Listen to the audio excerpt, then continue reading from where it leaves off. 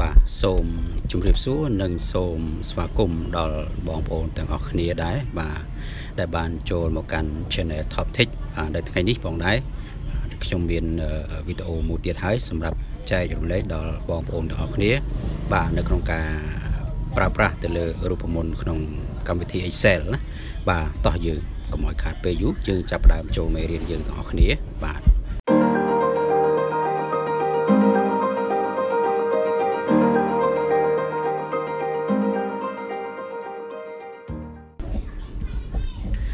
នេះគឺជាមេរៀនរបស់យើងនៅថ្ងៃនេះដែលខ្ញុំ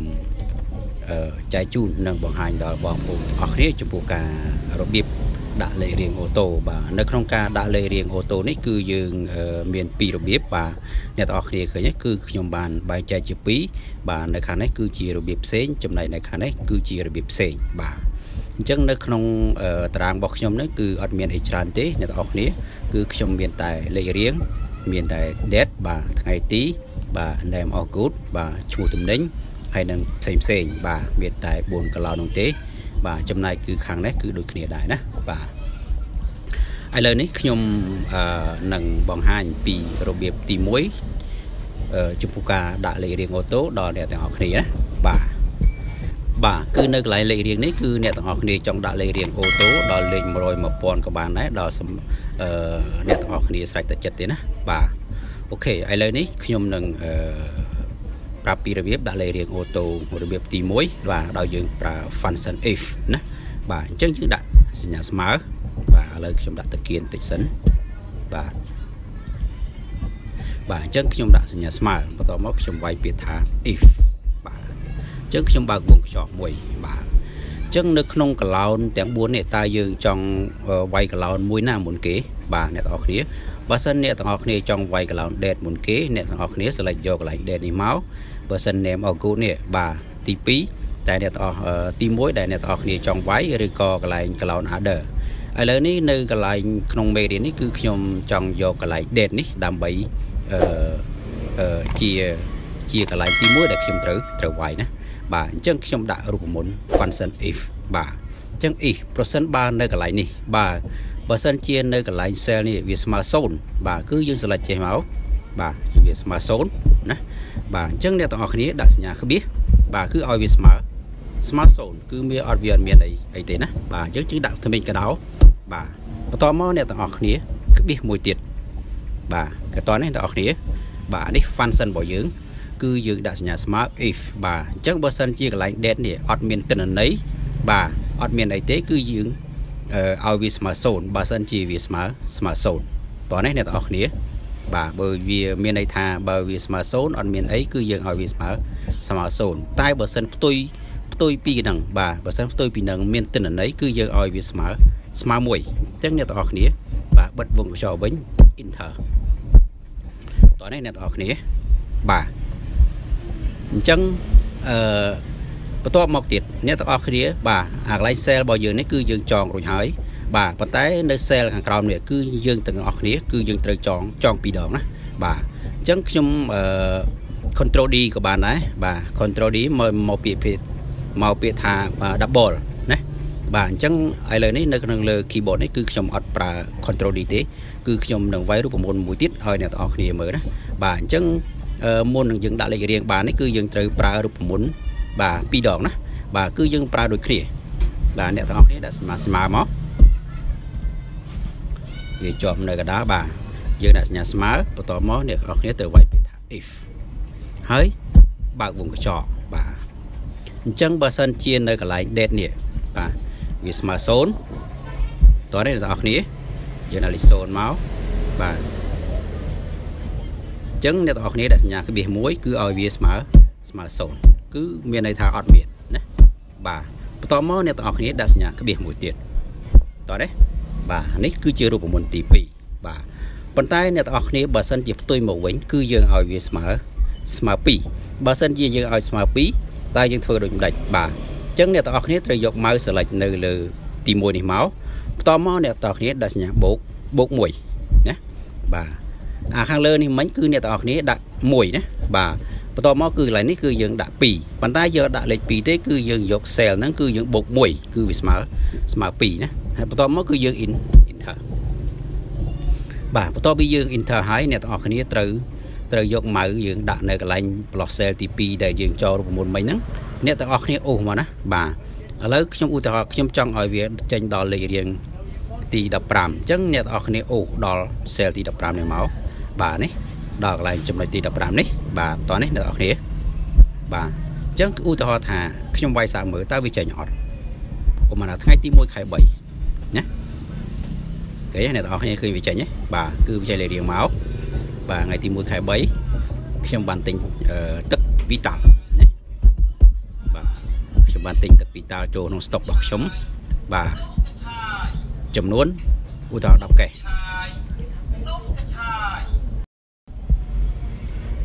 បាទឃើញអ្នកទាំងអស់គ្នាចឹងនៅពេលដែលយើងចាប់ដើមវាយ date នេះបាទនៅថ្ងៃទី1ខែ3ខ្ញុំបានទិញទឹកវីតាល់ចូលចំនួន10 10កេសអញ្ចឹងវាចេញលេខរៀងមួយឲ្យយើងស្រេចបាទអញ្ចឹងឧមាថាថ្ងៃទី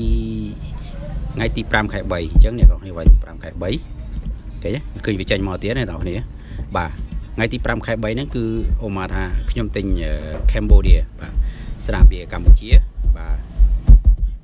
ចូលចំនួន20កេសតោះនេះអ្នកនរគ្នា បាទបន្ទាប់មកនៅថ្ងៃទី15ខែ3បាទ15ខែ3បាទខ្ញុំបានទិញ Anchor បាទខ្ញុំបានទិញ Anchor បាទចំនួន30កេសណាបាទបន្តមកថ្ងៃទី20ខែ3ថ្ងៃទី20ខែ3ទៀតបាទខ្ញុំបានទិញ Sting បាទណាខ្ញុំបានទិញ Sting ចូលបាទចំនួន20កេសបាទ អញ្ចឹងបើសិនជាអ្នកទាំងអស់គ្នាបាទមានអីវាយរហូតដល់ sale ទី20ដែលយើង select មិញគឺវាចេញអូតូឲ្យយើងដូចគ្នាអញ្ចឹងណាអ្នកទាំងអស់គ្នាបាទបើសិនជាយើងលុបចោលគេគឺវាបាត់ដែរបាទបើសិនជាវាមាន គឺវាចេញដែរណាបាទនេះគឺជារបៀបទី1ដែលយើងចងចងរូបមន្តអញ្ចឹងអ្នកទាំងអស់គ្នាអាចជ្រើសរើសបានតើជ្រើសរើសយករបៀបទី1បាទឬក៏របៀបទី2បាទបាទអញ្ចឹងឥឡូវនេះខ្ញុំនឹង ប្រាប់ពីរបៀបបាទការចងអូតូទៅលើរបៀបទី2សម្រាប់ដល់អ្នកទាំងអស់គ្នាណាបាទអូខេអញ្ចឹងយើងដាក់រូបមន្តយើងស្មើ function if ដូចគ្នានឹងមកបាទចុះហើយយើងបើកបើកវងចោបាទអញ្ចឹងបើសិនជានៅកន្លែង date នេះបាទនៅទិន្នន័យកន្លែងនេះគឺអត់មានទេ បាទវាស្មើ0បាទបើសិនណាវាស្មើ0អញ្ចឹងគឺយើងឲ្យវាអត់មានណាបាទអញ្ចឹងយើងដាក់សញ្ញាវាអត់មានបាទគឺមានន័យថាវាស្មើស្មើ0អញ្ចឹងយើងដាក់សញ្ញាក្បៀសបាទ ដាក់សញ្ញាក្បៀសបើសិនជាផ្ទុយពីហ្នឹងគឺយើងឲ្យវាស្មើស្មើ1អញ្ចឹងអ្នកទាំងអស់គ្នាដាក់បិទដាក់ថ្មិញកដោ2ទៀតមកបាទអញ្ចឹងយើងដាក់សញ្ញាក្បៀសមួយទៀតគឺយើងឲ្យវាស្មើស្មើ1ណាបាទតោះនេះអ្នកនរគ្នាបាទអញ្ចឹងនៅក្នុងការដាក់លេខរៀងទី2នេះគឺវាគ្រាន់តែខុសគ្នាពីលេខ1នោះបន្តិចបាទពីលេខ1នោះគឺយើងដាក់ឲ្យវាស្មើស្មើ0បើសិនជា cell កន្លែងហ្នឹងស្មើ0បាទគឺមានន័យថាវាអត់មានទេតែបើសិនផ្ទុយពីហ្នឹងគឺយើងឲ្យវាស្មើ ស្មើ1ណាបាទនេះគឺជារបៀបទី1ចំណែករបៀបទី2នេះបាទគឺយើងប្រើ function if ដែរបាទបើសិនជា cell កន្លែងនេះអត់មានទេអត់មានគឺយើងមិនបាច់ដាក់0ទេអ្នកទាំងអស់គ្នាគឺយើងជំនួសដោយថ្មិញថ្មិញកដោបបាទពីរគូបាទបន្ទាប់មកយើងដាក់សញ្ញាក្បៀសបាទយើងដាក់សញ្ញាក្បៀសបន្ទាប់មកគឺយើងដាក់សញ្ញាបាទថ្មិញកដោទៀតបាទបើសិនជាបាទផ្ទុយពីហ្នឹងគឺយើងឲ្យវាស្មើស្មើ1អញ្ចឹងយើង enter បាទបន្ទាប់មកអ្នកទាំងអស់គ្នាត្រូវចងរូបមន្តមួយទៀតដូចគ្នាអញ្ចឹងបាទគឺយើងដាក់សញ្ញាស្មើហើយបើយើងដាក់ if បាទយើងបើកវងកញ្ចក់បើសិនជា cell នៅកន្លែងនេះបាទវាស្មើស្មើ0ស្មើ0ហ្នឹងគឺវាមានន័យថាវាអត់មានគឺយើងចំនួនឲ្យឲ្យថ្មិញកដោណាបាទអញ្ចឹងថ្មិញកដោអ្នកទាំងអស់គ្នាដាក់សញ្ញាក្បៀសក្បៀសហ្នឹងមានន័យថាគឺនាំឲ្យបាទបើសិនផ្ទុយពីហ្នឹងបាទគឺយើងដាក់សញ្ញាថ្មិញកដោទៀត បាទផ្ទុយពីហ្នឹងគឺយើងឲ្យវាស្មើស្មើ2ស្មើ2មានន័យថាគឺយកដាក់លេខ2ទេគឺយើងដាក់កន្លែង cell កន្លែងនេះគឺយើងដាក់បូកលេខលេខ1បាទបូក cell ទី1ហ្នឹងបាទបន្ទាប់មកយើង enter អញ្ចឹងអ្នកទាំងអស់គ្នា select ដូចគ្នាចេញមកបាទតើអ្នកទាំងអស់គ្នាចង់ដល់លេខ cell ទីប៉ុន្មានទី20អញ្ចឹងអ្នកទាំងអស់គ្នាអាច select ដល់ cell ទីទី20នេះតោះនេះអ្នកទាំងអស់គ្នាបាទអញ្ចឹងបន្ទាប់មក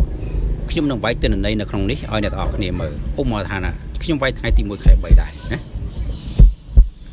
ឃើញវាចេញអ្នកទាំងអស់គ្នានេះលេខ1គឺវាចេញមកអូតូខ្លួនវាថ្ងៃទី1ខែ3បាទខ្ញុំបានទិញ gas បើណាខ្ញុំបានទិញ Gainsbourg បាទបាទចំនួន10កេសចឹងទៅណាបាទបន្ទាប់មកថ្ងៃទី5ខែ3ឃើញទេបាទឃើញឃើញដល់ពេលយើងវាយថ្ងៃទីមកបាទ កន្លែងនេះគឺជាកន្លែងដែលយើងត្រូវត្រូវវាយដើម្បីឲ្យវាចេញទិនទិននេះនេះលេខរៀងអូតូណាបាទអញ្ចឹងនៅថ្ងៃទី5ខែ3នេះគឺខ្ញុំបានទិញបានទិញស្ករសខ្ញុំឧទាហរណ៍ជាងទៅណាបាទបានទិញស្ករសចំនួន10បេឧទាហរណ៍ថ្ងៃទី10ខែ3ទៀតបាទខ្ញុំបានទិញអង្ករចំនួន10បាវណា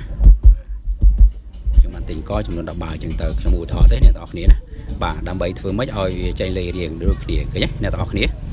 បាទអញ្ចឹងចំពោះការដាក់លេខរៀងអូតូយើងអាចមានពីររបៀបបាទអាស្រ័យទៅលើអ្នកទាំងអស់គ្នាបើសិនអ្នកទាំងអស់គ្នាបាទស្រឡាញ់បាទទៅលើការចងនេះអ្នកទាំងអស់គ្នាឃើញទេបាទនេះស្រឡាញ់ទៅលើការចងនៅរបៀបទី1បាទអត់សូវសាំញ៉ាំទេអ្នកទាំងអស់គ្នាអាចយករបៀបទី1ណាបាទដល់យើងប្រើរូបមន្ត function smart if បន្តមកកឡោនដែលយើងចង់វាយបញ្ចូលហ្នឹងឲ្យវាស្មើ0បាទបន្តមកយើងដាក់សញ្ញាក្បៀសបាទដាក់សញ្ញាក្បៀសហ្នឹងមានន័យថាគឺវាអត់មានទេ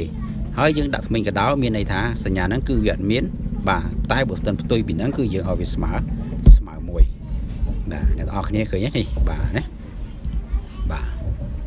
នេះគឺជារូបមន្តទី1បាទចំណែកនេះគឺជារូបមន្តទី2បាទនេះរូបមន្តទី2គឺវាដូចគ្នាបាទ គឺយើងប្រើ function if ដូចគ្នាបាទបើសិនជាកន្លោននេះវាមានទេគឺយើងតំណាងឲ្យថ្មិញថ្មិញកដោបាទ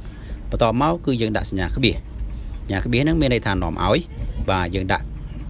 ថ្មិញកដោទៀតបាទបើសិនផ្ទុយពីហ្នឹងគឺយើងវាឲ្យស្មើស្មើមួយបាទអញ្ចឹងអ្នកទាំងអស់គ្នាអាចជ្រើសរើសបានចំពោះការចងរូបមន្តបាទទៅលើទី1ហើយនិងទី2បាទតាមតែចិត្តអ្នកទាំងអស់គ្នាដែលបាទចិត្តចូលចិត្ត បាទយើងមើលទៅតើរូបមន្តណាងាយស្រួលចាំហើយរូបមន្តមួយណាដែលយើងងាយស្រួលមិនងាយស្រួលចាំណាបាទអញ្ចឹងមេរៀនរបស់ខ្ញុំនៅថ្ងៃនេះសម្រាប់ចែកជូនដល់បងប្អូនទាំងអស់គ្នាគឺមានតែប៉ុណ្្នឹងទេចំពោះការដាក់លេខរៀងអូតូដែលមានពីររបៀបណាបាទអញ្ចឹងសូមអរគុណដល់បងប្អូនទាំងអស់គ្នាដែលតាមដានវីដេអូរបស់ខ្ញុំបាទតាំងពីដើមទីរហូតដល់ចប់បាទសូមបងប្អូនទាំងអស់គ្នាជួយចុច Subscribe និងរូបកណ្ដឹងម្នាក់មួយផងដើម្បីទទួលបាន វីដេអូថ្មីថ្មីទៀតមុនគេហើយនឹងចំណេះដឹងផ្សេងផ្សេងទៀតបាទចំពោះការចងរូបមន្តទៅលើកម្មវិធី Excel បាទសូមអរគុណបាទសូមជម្រាបលាជួបគ្នានៅពេលក្រោយទៀតអរគុណបាយបាយ